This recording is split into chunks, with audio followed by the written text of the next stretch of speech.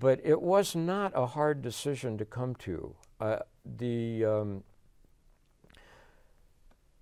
we we were out of school. Um, we obviously couldn't remain out of school um, forever, and the uh, it seemed to us, it seemed generally that it was a good solution that we would go back without the armbands and sue the school system. Well, the Iowa ACLU said that we should first negotiate with the school board.